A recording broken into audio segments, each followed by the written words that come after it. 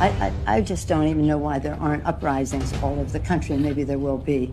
People need to start taking to the streets. This is a dictator. You know, there needs to be unrest in the streets for as long as there's unrest in our lives. Enemies of the state. Show me where it says that protests are supposed to be polite and peaceful.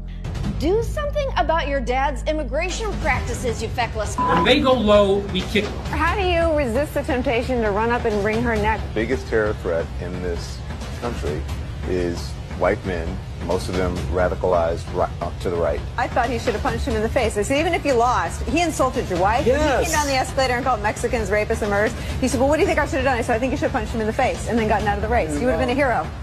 I'd like to punch him in the face. I said if we were in high school, I'd take him behind the gym and beat the hell out of him. Punch some people in the face! When was the last time an actor assassinated a president? They're still going to have to go out and put a bullet in Donald Trump, and that's a fact.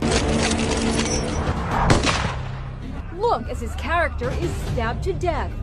Where is John Wilkes Booth when you need him? I have thought an awful lot about blowing up the White House.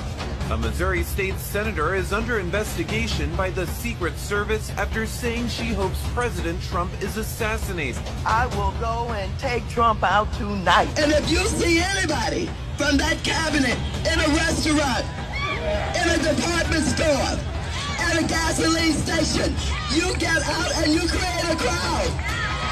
And you push back on them. And you tell them they're welcome anymore, anywhere.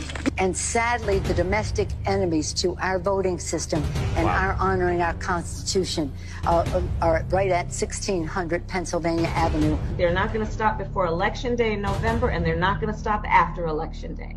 And that should be, everyone should take note of that on both levels. That this isn't, they're not going to let up, and they should not.